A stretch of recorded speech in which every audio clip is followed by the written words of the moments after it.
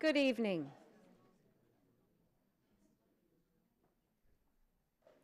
Welcome, everyone, to our evening with Henry Urbach talking about the Philip Johnson Glass House. It looks like we have yet another capacity crowd here in the library. This is getting really exciting. Every event we have is filling our spaces or the spaces that we are using elsewhere in town. And it's tremendous to see so many people coming out for all of these various incredible programs that we're putting on. On Friday night, we had Nathaniel Philbrick, who came to talk about In the Heart of the Sea as the culminating event for our One Town Read. We had 650 people there that, uh, the other night. We, looks like we've got about over 200 people here tonight, um, which is phenomenal on a Sunday evening when it's fine outside. Thanks, Henry. You're obviously a good attractant. Um, look, I won't keep you too much longer. I'll just talk to you a little bit about Henry, the director of the Glass House since April 2012. Before he came to us here in New Canaan, he was curator of architecture and design at the San Francisco Museum of Modern Art. And before that, he had his own gallery of contemporary art and architecture in New York. With multiple advanced degrees in architecture and history of architecture from Columbia and Princeton, he's taught architecture at UCLA and Yale universities, and now has come to us to run the Glass House and provide that catalyst for understanding and education of the modern architecture movement and so much more. Thank you very much, Henry, for being with us tonight, and welcome.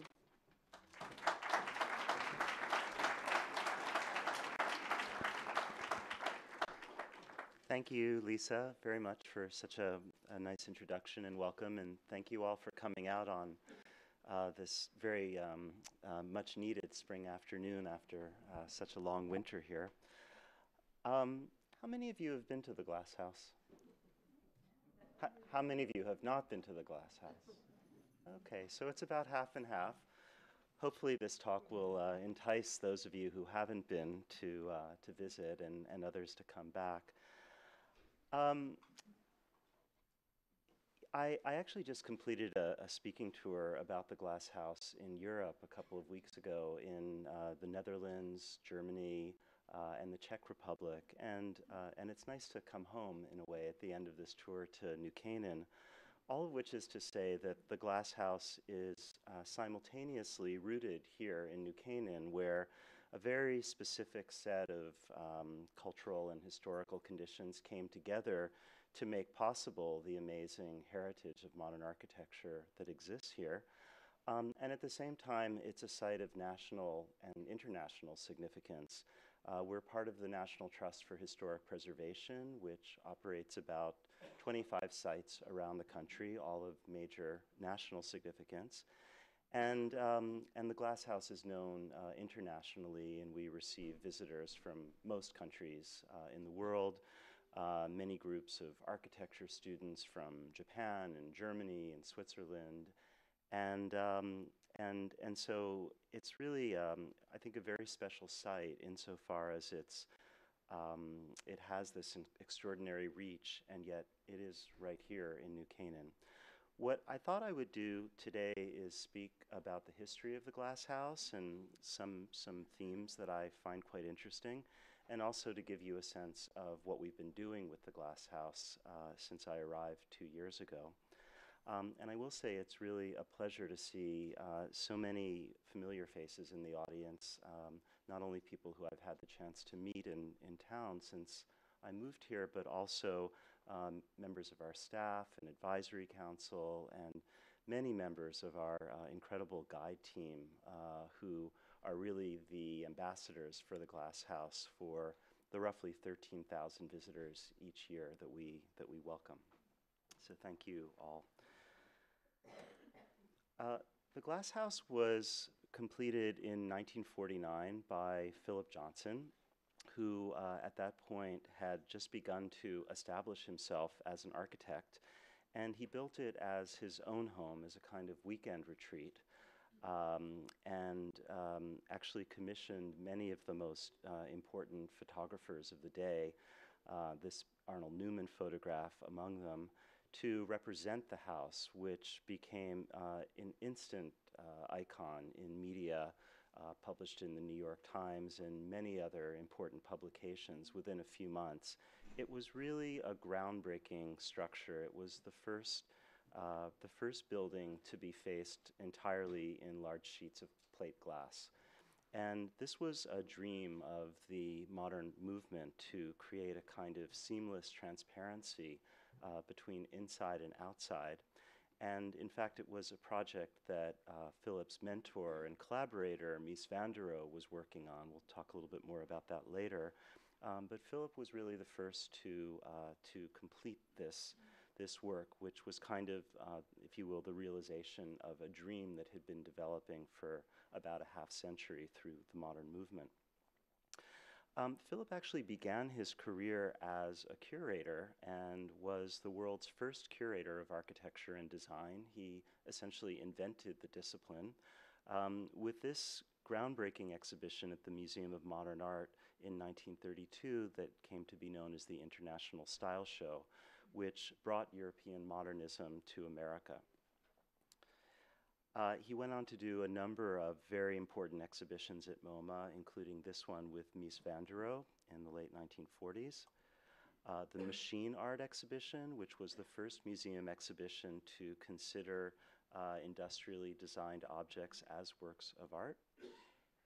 And in the same year that the Glass House was completed, um, this uh, house by Marcel Breuer, which was built in the garden uh, at the Museum of Modern Art. And of course, Marcel Breuer, one of the Harvard Five, uh, key figure in the development of modernism in New Canaan. The site is on Ponus Ridge Road and was originally about five acres. This is a plan uh, that showed a drive coming diagonally down the site to a little parking area Number three is the brick house, and number five is the glass house.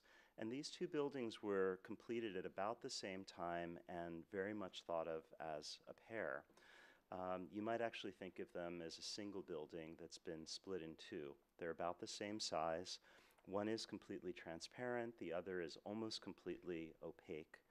Uh, and together they combine the various functions of, of a house uh, with the brick house sheltering the more private uh, aspects and the glass house more of a kind of uh, pavilion for uh, entertaining and indeed there is a bed and a kitchen um, but the two really worked as uh, complementary parts of a whole. Uh, this is an early photograph of the glass house interior. As, as those of you who have been know, it hasn't changed very much. Uh, that's quite interesting because almost everything else at the Glass House has changed tremendously over uh, the decades since this building was complete. And yet the interior of the Glass House itself remained uh, kind of pure and static, if you will. Uh, the candelabra is no longer there. It was replaced by a different kind of lighting element. But essentially, this is how it still looks. Um, over the course of a few decades, uh, Philip Johnson and eventually his partner, uh, David Whitney, began to acquire uh, adjacent sites so that the campus is now about 49 acres. Uh, and they, they acquired them over many years, and as they did so, uh, began to develop a concept for something that is much more like a park, really, or an estate um, with different built elements. Um, as I mentioned, almost everything uh, about the glass house except its own interior began to transform and rather quickly. Um, uh, Philip Johnson was a famously restless architect. Um, he is perhaps the architect uh, uh who can least be identified with a single style. He tried on many, many different uh, styles, languages, ways of working with architecture over the course of his career, eventually becoming one of the leaders of American postmodernism, deconstructivism. And that uh, kind of spirit of tinkering really began here in the interior of the brick house, which was transformed from a more modernist space into something like a kind of pared down rococo, where um, uh, a kind of delicate canopy of plaster vaults uh, was placed over the room. The walls were lined in a Fortuny wallpaper uh, in a medieval Persian pattern, uh, in a kind of salmon and gold color. And uh, one of the very earliest uses of indirect lighting on a dimmer switch, so that there was a kind of um, still pared down but magical and sensual quality uh, to this, this bedroom in the guest house. Um, a few years later, they, uh, Philip removed the sculpture that had sat where the pool would eventually be built and, and added the swimming pool. And as I say, began to conceive of the campus as a kind of park and a place for pleasure and entertaining. Um, in addition, the landscape was cleared. Uh, as all of you know, uh, there aren't many properties in New Canaan that have this kind of openness. It's a heavily wooded area. And, um, and this project of landscape transformation is one that began early and was continuous through the life of the glass house um, until both Philip and David passed away in 2005.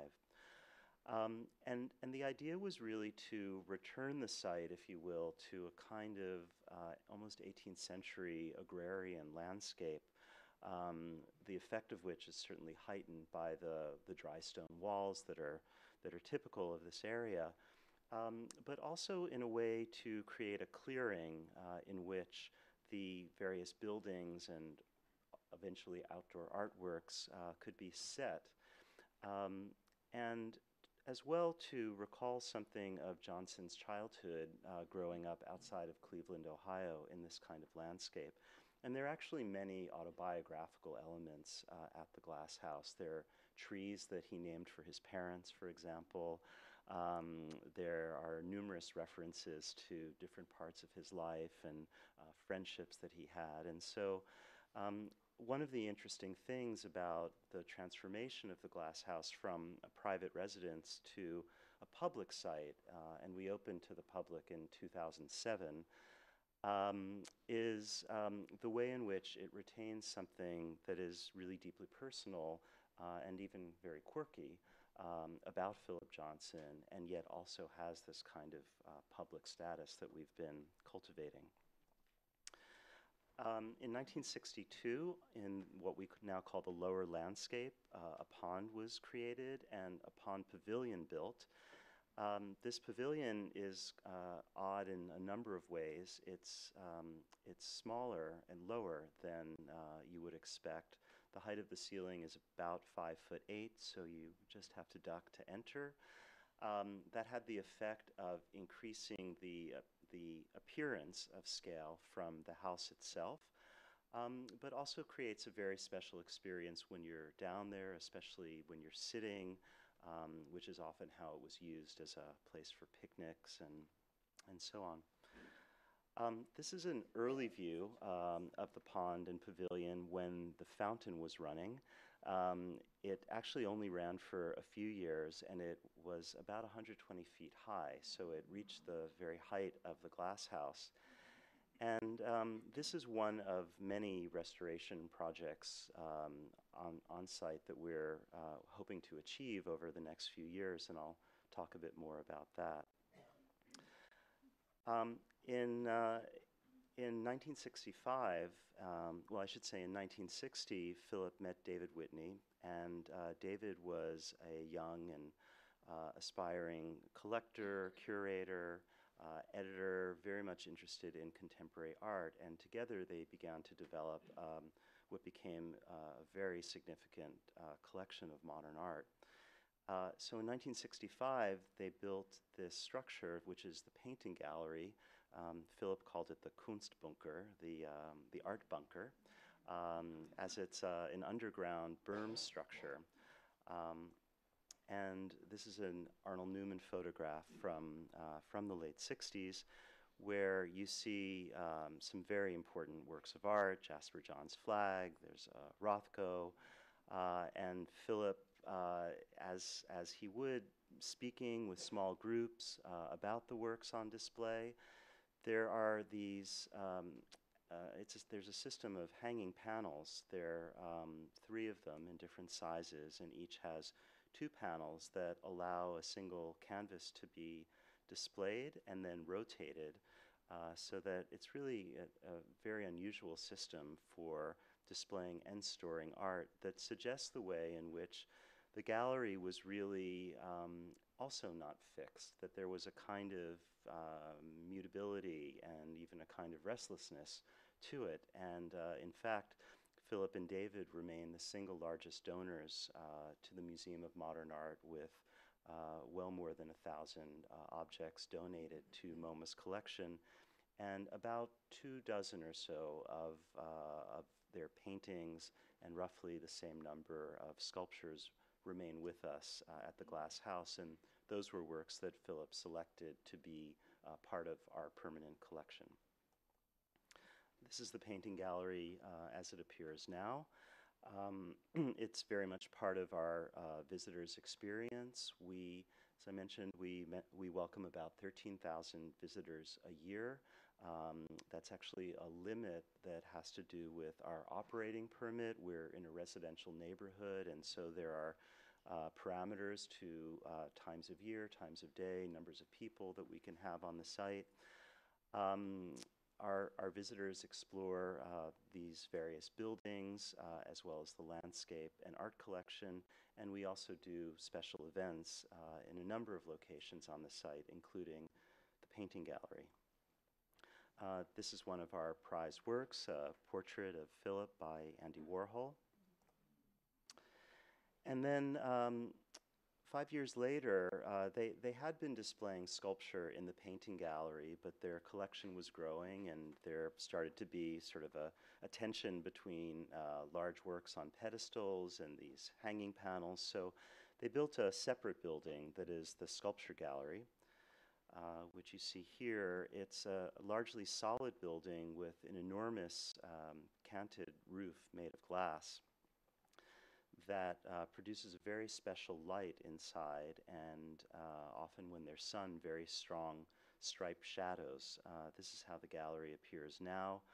Um, with uh, Robert Morris work on the floor, George Segal bed, there are uh, essentially five platforms, and the concept for the building was, uh, and again, as I as I mentioned, Philip was um, was famously restless in in how he thought about um, uh, making architecture, and at the Glass House itself, you see this kind of constant experimentation with different ways of uh, of making a building.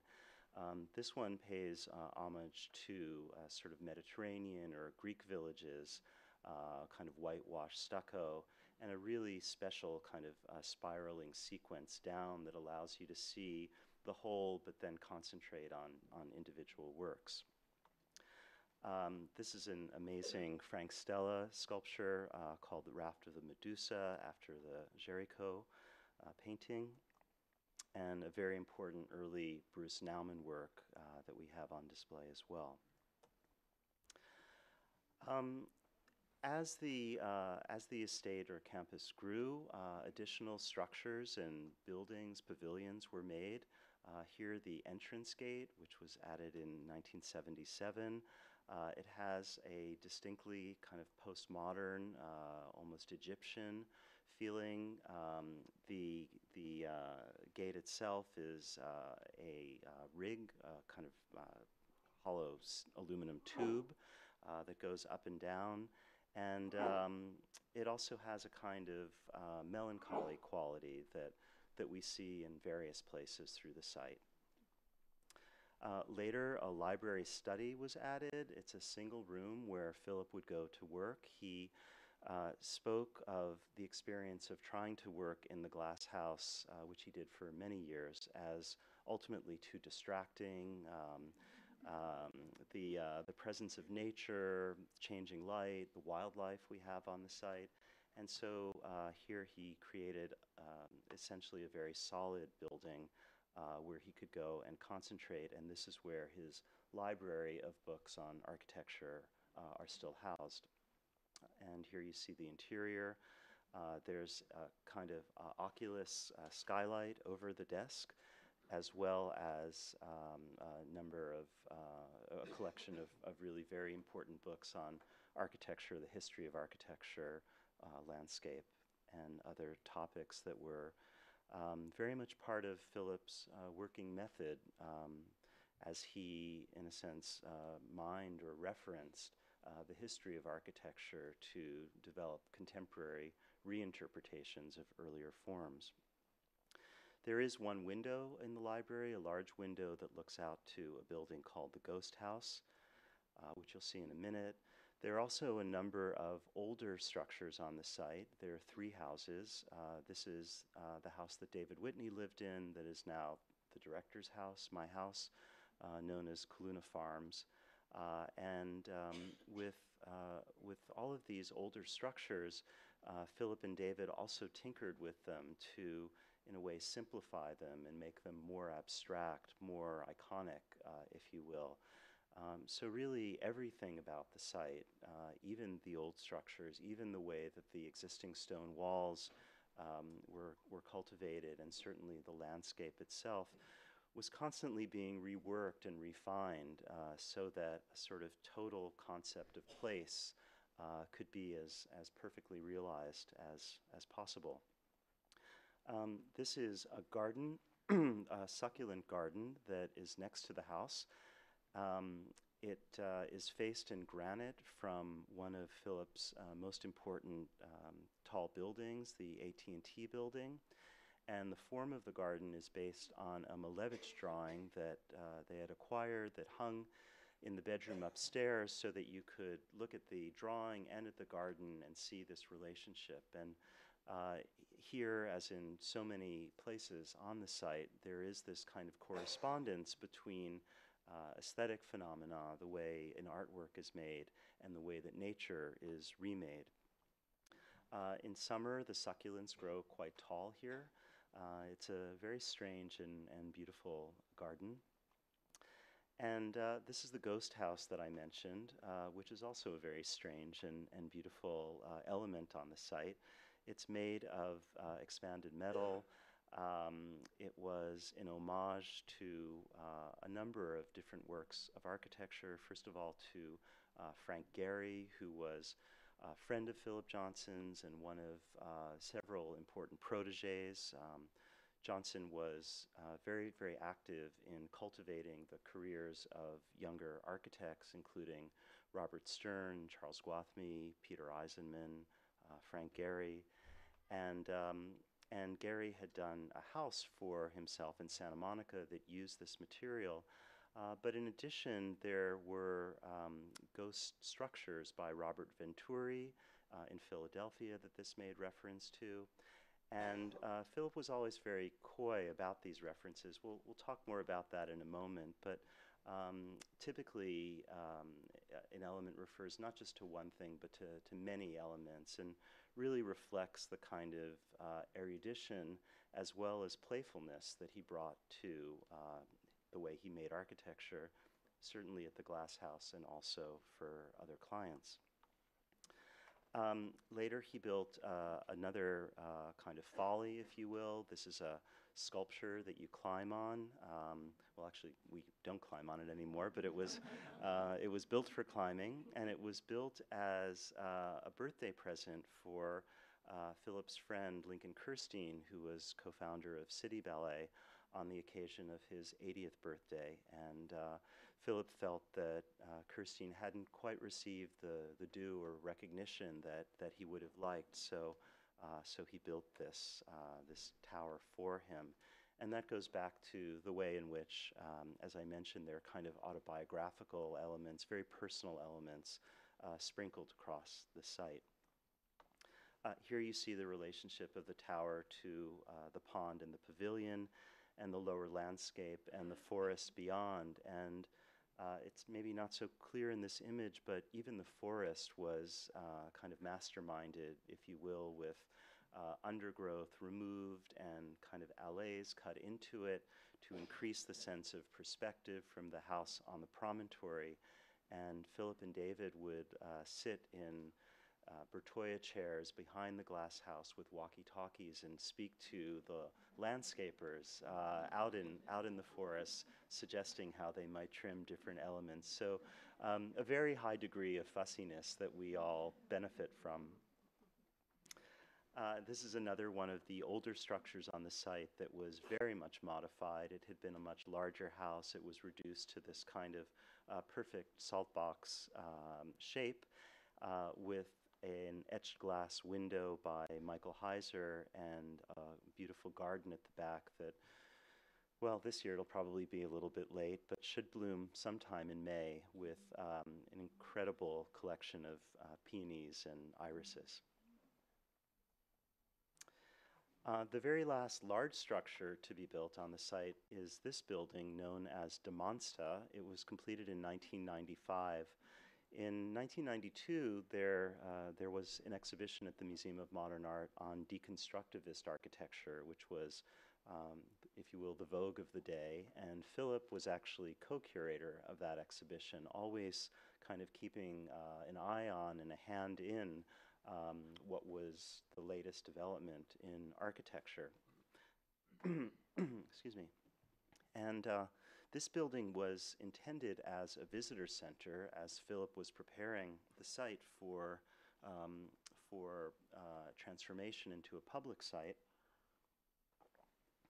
But um, as the agreement with the town of New Canaan developed, a decision was made that visitors would arrive in town. So, as many of you know, we have our visitor center and design store at 199 Elm Street, where people arrive and then take a shuttle, shuttle van to the site. Uh, and this building actually sat empty uh, until I arrived here two years ago. And here you see the relationship of the library and Da Monsta in the landscape. And um, you know, the landscape is really, I think, one of um, the most magical qualities uh, of the glass house. And it's also a kind of constantly changing one uh, insofar as there's a very precise schedule for uh, mowing high grass so that over the course of each season there's a kind of constantly changing relationship between uh, wild and uh, very refined uh, with the lawn between the glass house and the brick house being the most kind of pristine and immaculate of all. The very last structure to be built um, was Doghouse uh, in 2002 um, for Alice and James, uh, their, uh, their beloved dogs. And um, uh, the dogs didn't like to go in the house very much, um, but they did like to leave their bones in there, as you see. Um, and so it became a kind of uh, ossuary, if you will. Um, and I will say that I had the privilege of meeting Philip Johnson in 2001 during the period when I had my gallery in New York. And as I was uh, a young person in the field doing something interesting, Philip wanted to know about it. And so uh, invited me up to the Glass House, which for me was uh, really an incredible uh, privilege and honor. I had known about it, you know, since I even before I began my studies in architecture. And, um, and I'm very grateful uh, to have met him then. Of course, there was no way I could know that eventually I would return here as director. Um, and, um, and now we'll talk a little bit about the way the glass house sort of functioned uh, before it became a public site. It was really a place where Philip would come to unwind, um, always maintaining uh, an office and, um, and residence in New York, but this was very much a kind of weekend retreat. Uh, and this wonderful photograph of uh, kind of picnic lunch uh, down in the pavilion on tatami mats. Uh, in its day, the pavilion had a gold lame uh, ceiling. as well as um, beautiful gurgling fountains. So, again, a kind of very sensual, um, uh, in, a way extravagant and yet still uh, quite modest uh, approach to uh, developing spaces for entertaining. And I will say that's another quality that I find very interesting about the glass house that on the one hand it's almost unbelievably extravagant and on the other it's actually very modest and in some ways quite austere um, and I think that uh, that's part of what gives it a kind of uh, abiding interest. Um, as the the um, kind of life of the glass house developed, especially in the 1960s and 70s, it became a very important gathering place or salon for uh, leading architects, artists, uh, philanthropists, a real kind of magnetic center um, that uh, architectural historian Vincent Scully has called the most sustained cultural salon the United States ever saw. And here in this photograph, you see uh, the young Robert Stern, uh, Philip Johnson with his friend and eye doctor, David Whitney, and Andy Warhol, who uh, spent quite a bit of time here uh, in the 1960s. Uh, and there you see a photograph of Andy in bed in the brick house with, uh, with David Whitney uh, peeking out the window. There were also many important society gatherings. there was a so-called Country Happening in 1967 that was a benefit for the Merce Cunningham Dance Company.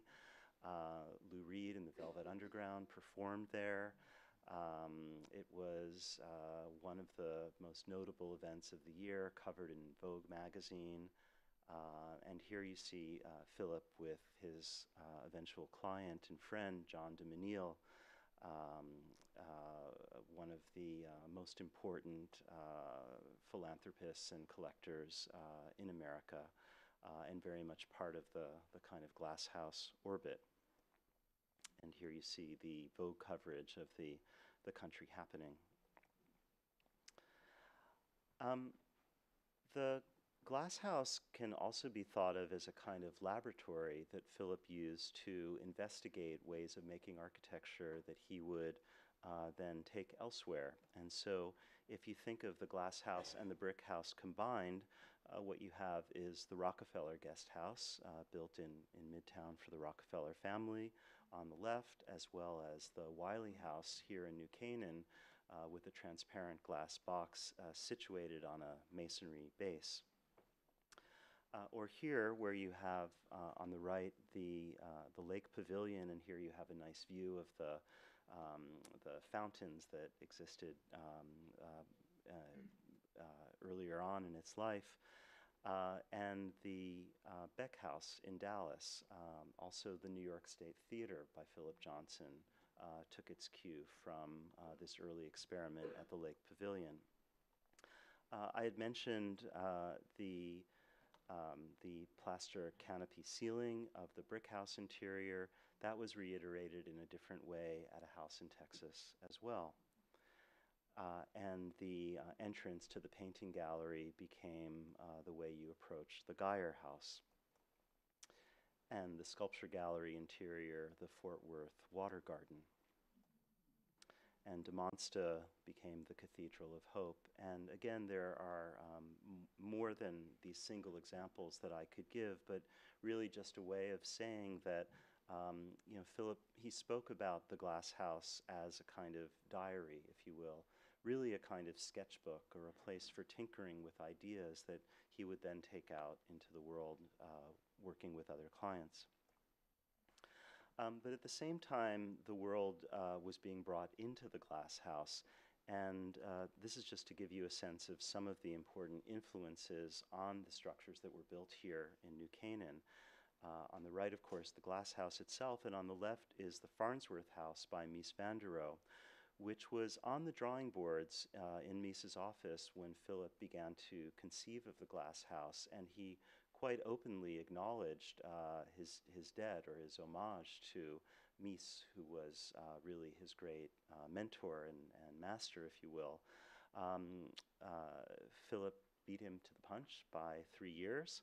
Um, but also, they're very different buildings. Um, uh, clearly, there, there are important similarities, and yet uh, the Farnsworth is more, um, more aligned with the principles of European modernism, uh, insofar as it floats off the ground uh, and that it conveys a kind of universal or horizontal space that extends infinitely uh, along with other elements, whereas Philip's project is really much more American, if you will, and kind of rooted uh, in its place and even anchored by, um, by the cylindrical uh, brick hearth um, that uh, pierces the roof of the pavilion. Um, one of the very odd and interesting things that Philip did soon after completing the glass house was um, uh, write an article for Architectural Review magazine in 1950 in which he acknowledged many different historical sources uh, for the glass house and, and the brick house and the relationship between them. This was very unusual for an architect of, of the day. Um, modern architecture, especially in that period, was very much um, about advocating a kind of uh, lean approach to uh, technology, to climate, a direct connection with site, function was very important. And so for Philip to bring history into the equation um, was quite a radical move, but even more so because of the range of sources, some of which were properly architectural, um, and others were paintings um, or uh, landscapes. Some were, um, there's reference to a kind of farm village. Uh, and so, very early on, demonstrating uh, again this kind of tremendous erudition, but also appetite um, uh, for knowledge and a way of using that knowledge and condensing that into a single idea. Uh, another possible source for the glass house itself is uh, the screened in porch that Walter Gropius had in Lincoln, Massachusetts. Gropius was dean at the Harvard uh, Graduate School of Design, where Philip did his architecture degree and surely would have spent some time there. Um, the brick house interior is uh, a very direct reference to the breakfast room of the Sir John Soane House in London. Uh, Sir John Soane was uh, an 18th century architect uh, who Philip admired greatly, uh, not only because of the quality of his architecture, um, but also I think because of the role of, of history and his passion as a collector. Uh, such that the John Soane House has developed into an extraordinary museum of architectural fragments, bits of antiquity um, that are um, combined in a way that is extraordinarily dense. And so um, I, I, I, believe there was a kind of identification that Philip shared with, with Soane, uh, his passion for history and collecting, and, uh, and that became um, registered on the site uh, with this reference. Uh, the Pond Pavilion, one of the many references, is a painting by Robert Delaunay of uh, Saint Severin. Um, but Philip also spoke about the mosque in Cordoba and various uh, islands that were developed in Renaissance gardens. And the painting gallery, and I have to say, I'm a little nervous speaking in front of so many of our guides who, um, who I, um, I know um, really have all of these facts at their fingertips all the time. Um, but I, um, nonetheless, um, so the, uh, the painting gallery uh, is a very direct reference to uh, the tomb of Atreus in Mycenae from 1250 uh, BC. And um, in addition to the other two uh, references that I mentioned earlier, the Frank Gehry House and the Venturi and Scott Brown uh, ghost structures, um, the ghost house is also a reference to a house that Robert Venturi did for his mother, which was one of the single signal works of postmodernism with uh, a kind of deeply split pediment. Uh, and as well the Lincoln Kirstein Tower, which used to be uh, in unpainted cinder block, as you see here, uh, likely a reference to Tatlin's monument to the Third International. And Da Monsta also has uh, many sources of inspiration and reference, but the one that's most direct is uh, this project by Frank Stella, uh, an artist who Philip and David developed an extremely close relationship with and who remains uh, well represented in our collection. And this was a project that Stella did for a Kunsthal um, in Germany, outside of Dresden, that was unbuilt. And so he gave the model to Philip and said, Here, why don't you build it? And, and Philip did. So, um, as I mentioned, the site opened to the public in 2007, and, um, and there were many important transformations that were undertaken by my predecessor, Christy MacLear, who was um, the first director here at the Glass House, and her team. I know that Marty is here in the audience.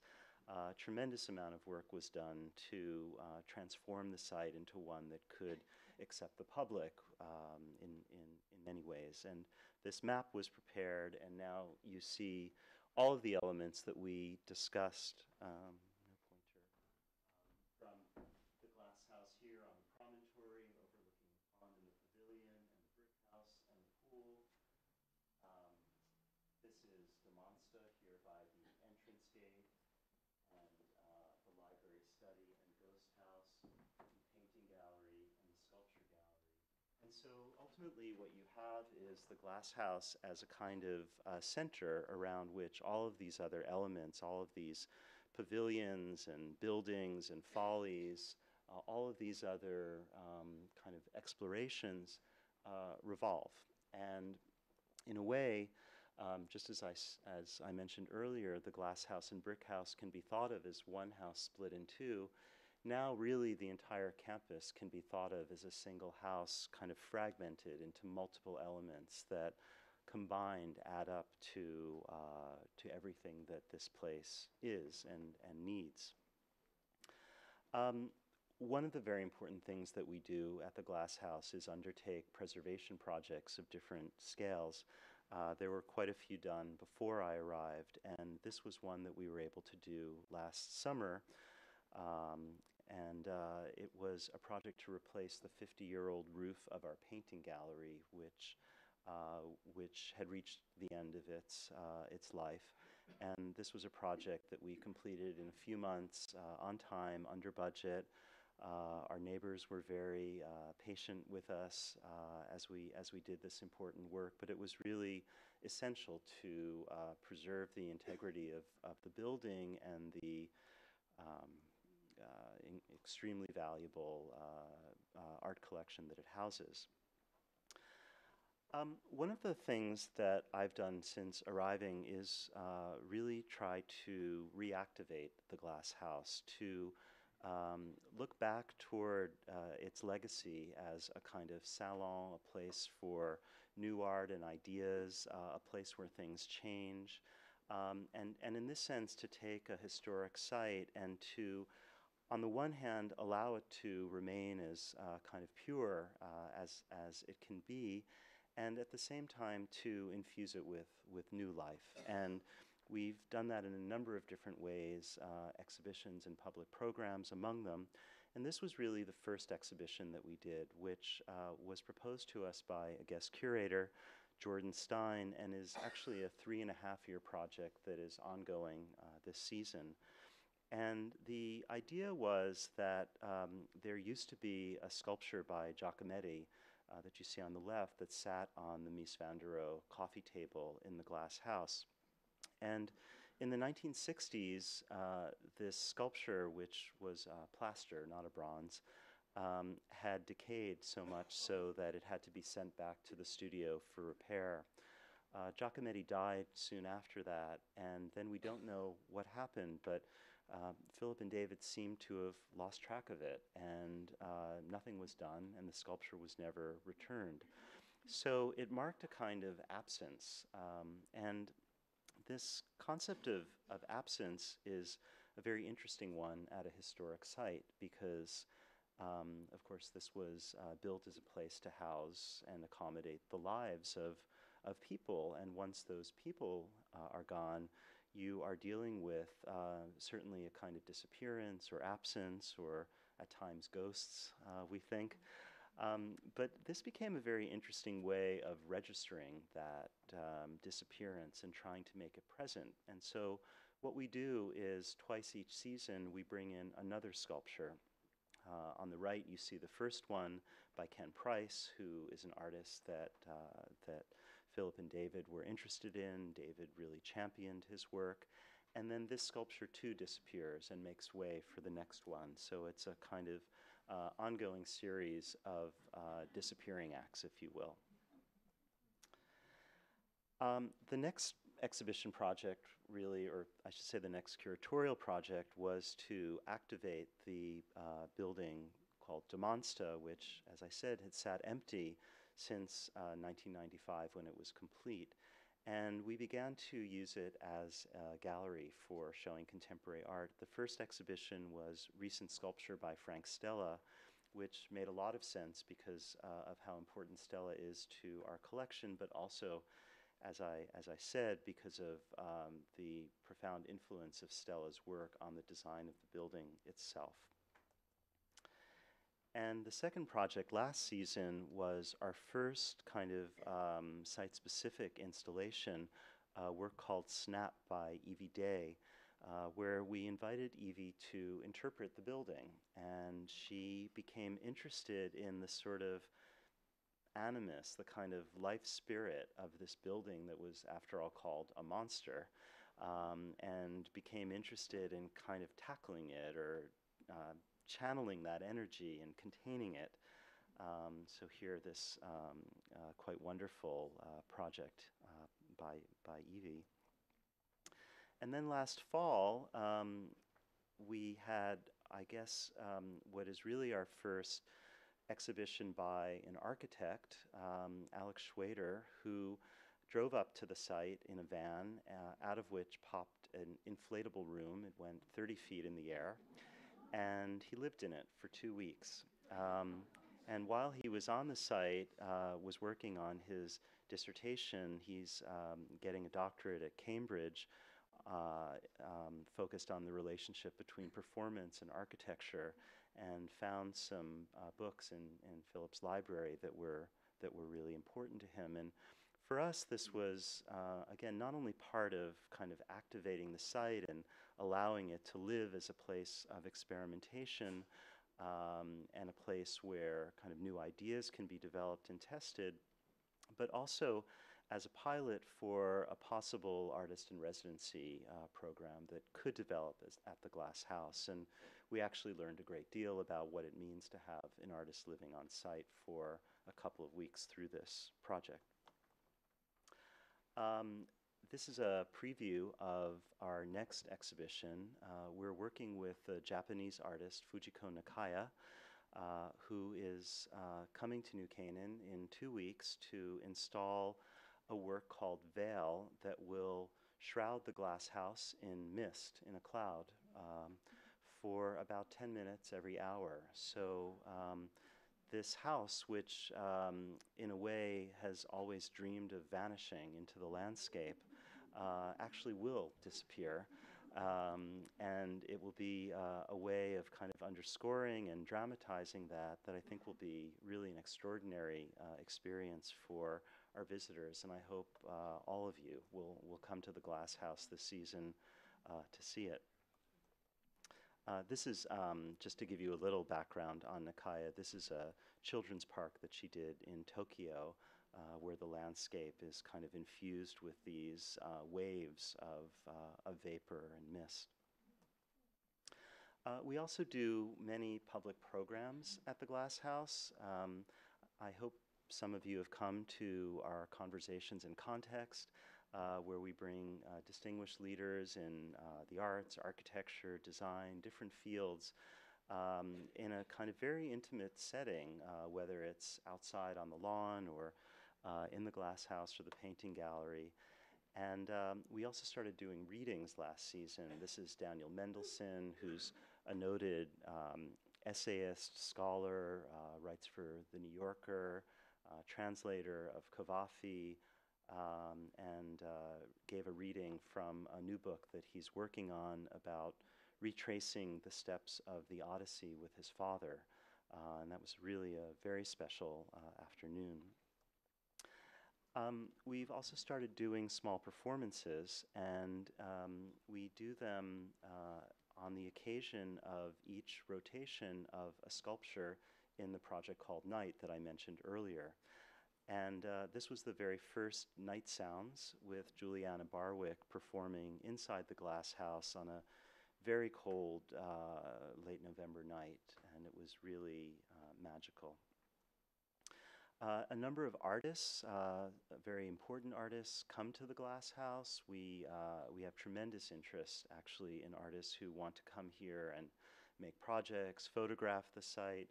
Uh, here you see a photograph by Hiroshi Sugimoto, one of the uh, most important contemporary photographers who made this wonderful benefit edition for us and is actually returning to the site uh, next month uh, to explore it further.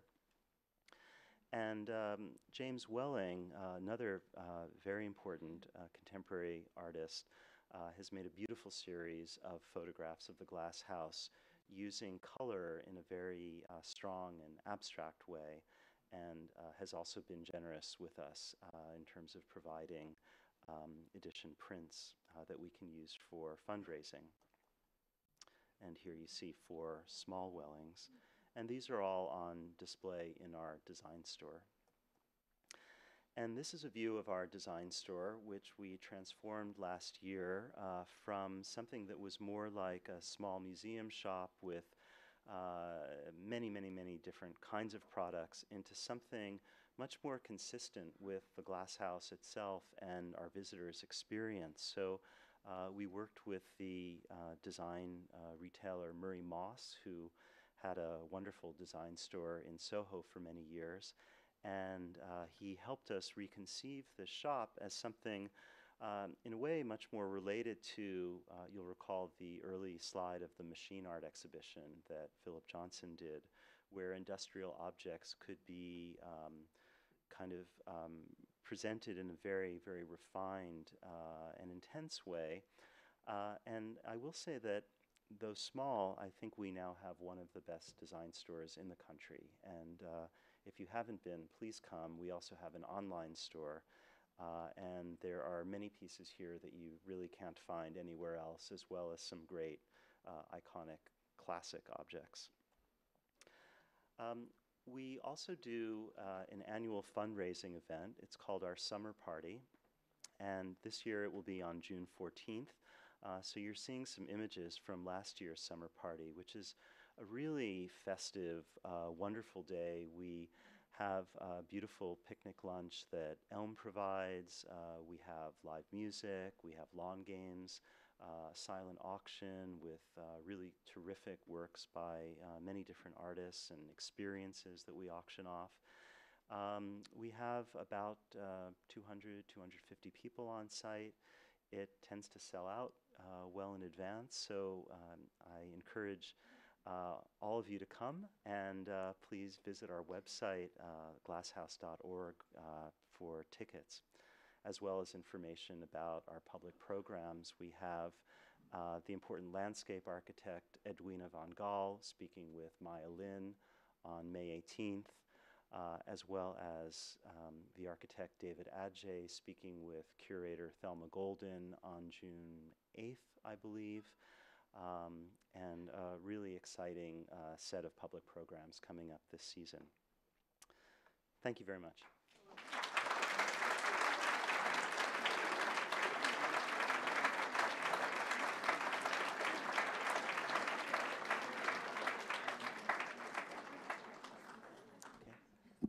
We, we, I think we have some time, and I would be delighted for any questions you have.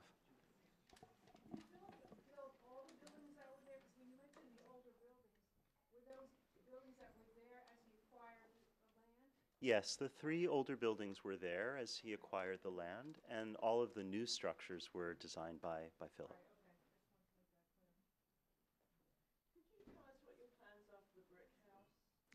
Yeah, the brick house has been closed since 2008. Uh, it reopened, uh, it opened to the public when the site opened in 2007, and then it turned out that there was some pretty serious water infiltration. Um, we are uh, actively raising funds. It's, uh, it's not an inexpensive project. Um, it's estimated to be between, excuse me, between, thank you, uh, one and a half and two million dollar project. Um, and we have some uh, initial uh, corporate interest. Um, but there are a number of very important preservation projects before us on the site. Uh, the sculpture gallery roof is in need of repair. Uh, it's actually leaking. Um, the, uh, the pond and the pond pavilion also need work. Even the glass house needs some work. We are fortunate that we were able to complete the painting gallery roof, which was the most urgent uh, project last season. And as funds become available, we're moving uh, as efficiently as we can. Ultimately, uh, of course, it's our, our great hope to reopen the brick house. Uh, it's a very important part of the site and ultimately the visitor experience. And uh, we hope to get there soon.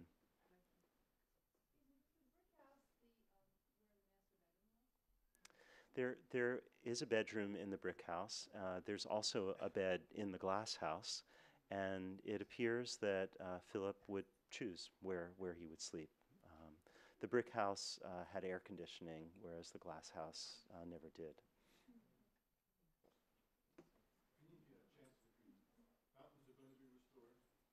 Uh, that too is a dream. Um, we very much would like to do that. Um, it's uh, that can't be our first priority, but uh, it is something that we hope to get to.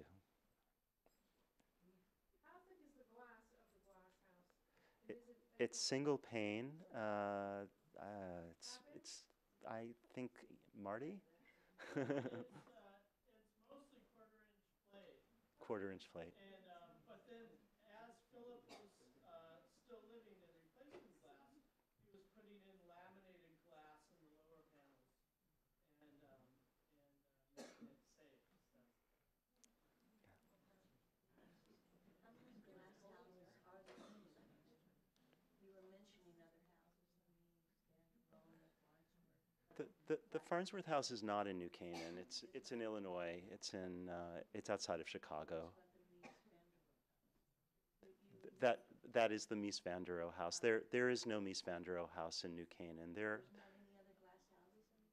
uh, not uh, not in the sense of this glass house. I showed the Wiley house, which is the glass box on the masonry base. That that is in New Canaan, and that was Philip Johnson. And there are other Johnson houses that use quite a bit of glass, but none that is uh, entirely faced in glass. do I remember correctly, um, something about the lighting that was created for this glass house to make it transparent during the transition time of sunset to evening, so there's no reflection, Yes, which was so unique yes. at its time? Yes, you do. innovative of its time? Yeah, Philip uh, discovered that as uh, as the sun set and it became dark, that um, the interior became very reflective. He would just see himself uh, in in reflected in the glass, and so he began to work with Richard Kelly, who uh, became really the preeminent.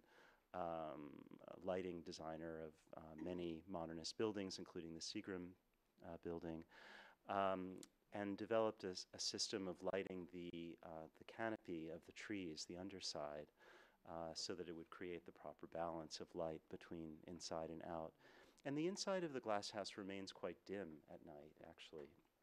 Um, so, yeah. Are the buildings in any way connected, given the dire uh, weather pattern we have? Are the building, for example, brick and uh, glass house, what would happen if he wants to go from one place to the other? Well, the brick and the glass house actually are connected, but not for not for passage. There's um, there's a kind of uh, chase or umbilical cord, if you will, that carries uh, mechanical uh, heat and even telephone wiring from the brick house, where that's all centered, to the glass house, so that the glass house could be freed of those systems. Um, but uh, all all passage between buildings is at ground level. And uh, Philip liked that idea very much. And in fact, when the site reopened to the public, a number of paths were added so that it would be, be more uh, safe and suitable for uh, public tours. Uh, but, but Philip was, um, in his day, much more interested in kind of wandering through, uh, through the landscape, through the fields, uh, to get from one place to another. And I think very much liked the, the challenge that, that the weather uh, here poses. Uh?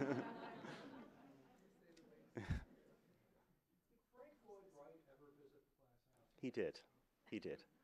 And there are some uh, famous uh, exchanges that, that took place. Uh, Wright asked whether he should keep his hat on or take it off when he entered the house. Was he indoors or outdoors? And uh, there, there were some debates about the placement of um, the large sculpture by Elie Nadelman. Um, so, um, but they had a kind of long and contentious history, uh, Philip and, uh, and Frank Lloyd Wright, beginning with the 1932 exhibition and um, certainly continuing through, uh, through their careers. Yes? I'm not sure if this was your idea or your predecessors, but I would like to thank you um, for the freebie that you have every year, um, inviting residents of New Canaan to come to the Glass That's very nice. Thank, Always very exciting, and even though I keep going back again and again, I always learn more. Th- Thank you very much. Yeah, we started doing that last year. It's our community day. Uh, this year we have one on May 7th that I think has sold out. Al- almost sold out. Almost sold out. Uh, where we open the glass house uh, for free to New Canaan residents. Again, please visit our website, theglasshouse.org, for information on that. Um, but there are a number of ways we, we work with the community. Certainly, I, I mentioned the uh, incredible presence of um, uh, uh, members of our team, uh, staff, and guides uh, who are uh, from New Canaan and, and surrounding towns. Um, but we also do an after school program for kids 9 through 12. Um, at times, we do different kinds of projects with New Canaan high school students. Um, and so we're very much, uh, very much interested in continuing to uh, connect with, with all of you and with our community here. Yeah. I'm wondering, apropos of your colleague's comment on the, on the glass itself, I never knew that it was so thin, going over the single pane, which leads me to the question, how much of the glass on the glass house now is from 1949? And follow-up question is, when Johnson passed away, where did his archive of plans and documents from his design studio end up? Um, much of the glass is original, not all. Uh, there was a, a famous incident where a wild turkey uh, flew in and uh, broke a, a plate of glass that was replaced. Um, and you know this this goes to some some very interesting questions around historic preservation because um, clearly there are more efficient ways to um, to work with a glass uh, facade now than there were in 1949. And so we're always trying to be, uh, on the one hand, as true as we can to the original design intent and materials and technologies of the day, and on the other to do things that, that make sense now. And especially as we're developing our strategy for repairing the sculpture gallery roof, uh, we're very much into, into those questions. Um, Johnson's archives were uh, divided into a number of places. We have a very uh, small bit here related to the glass house. Um, the original design drawings from the glass house are at the Museum of Modern Art, as well as other uh, important papers. Uh, Avery Library has quite a bit connected at Columbia with his professional practice. And he also gave some important works to the Getty, uh, to the Getty Research Institute uh, including his, uh, the letters he wrote to his mother from Europe during his travels in the 1920s, which have become very important in scholarship about Johnson. Yeah. I'm sorry, I can't hear you.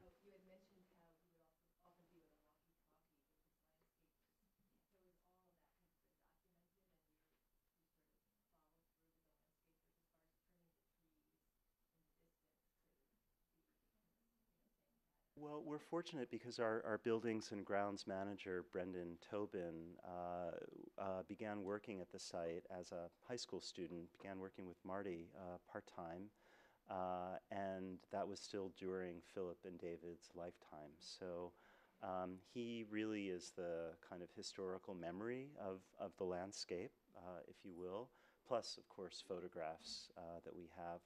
We we certainly do as, as much as we can.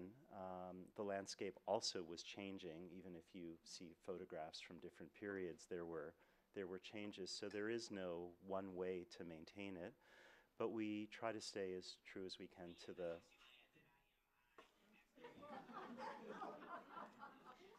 to the, to the principles of, of the site. Thank you so, so Okay. much. Thank That was so wonderful.